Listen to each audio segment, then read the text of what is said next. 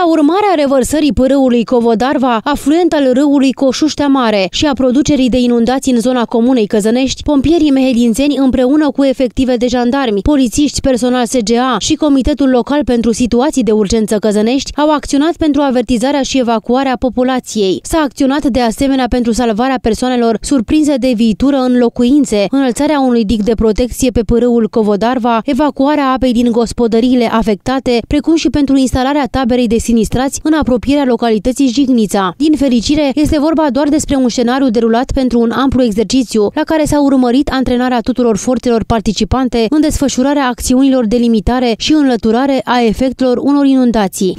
Trebuie să avem permanent situația posibilității de sprijin cu personal, în special pentru salvare, prioritate numărul 1 este salvarea personal uh, uh, victimelor, adică a cetățenilor, da. după care celelalte uh, lucrări care sunt de evacuare, apă restabilire, este de normalitate, le facem în funcție de, de situația operativă personalul trebuie să fie pregătit. La acest exercițiu au participat structurile Comitetului Județean pentru Situații de Urgență, care au atribuții în cazul producerii unor inundații în această zonă.